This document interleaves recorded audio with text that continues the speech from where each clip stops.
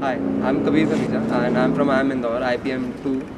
And uh, I just took this uh, test on Mazhr and it's uh, a, uh, a self-assessment test. It's really nice. And um, it's an AI-based test and I, the one thing that I really liked about it is that it's uh, not a binary test. It's not a simple yes or no question.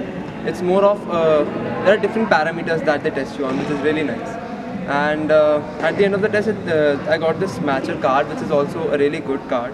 And uh, I'll surely replace this card with my CV because it gives a better perspective in a in a more comprehensive way. So that's really nice. And yeah, I'll highly recommend this uh, Mazhr to all my friends.